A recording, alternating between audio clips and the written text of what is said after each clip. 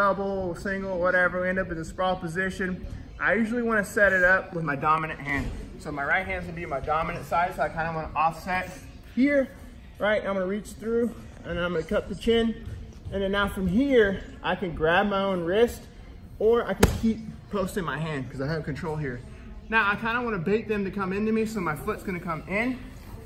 I'm gonna sit. I can A, slip a backside butterfly hook here, or I can throw a, leg over the backside. So I got half. I have to have either one, or close guard. I prefer half because it gives me a lot more mobility in my hips. So now I'm gonna reach through, grab my wrist, pop the head in the hole, drop back, and I'm gonna start cutting my, start cutting.